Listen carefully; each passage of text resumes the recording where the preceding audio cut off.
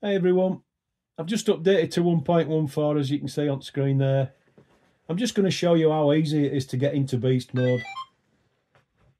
There we are. My sensitivity's down because I'm inside and my discrimination's wrong. I normally have ground off. To get into beast mode, you basically go to your gold mode and you press your frequency. That'll show a single frequency of 20, then 40, then BE, beast mode. Nothing to do with gold mode. And that's it. Once you're in there, you can second ground balance and there's other bits and bats you can do. It's as easy as that, guys.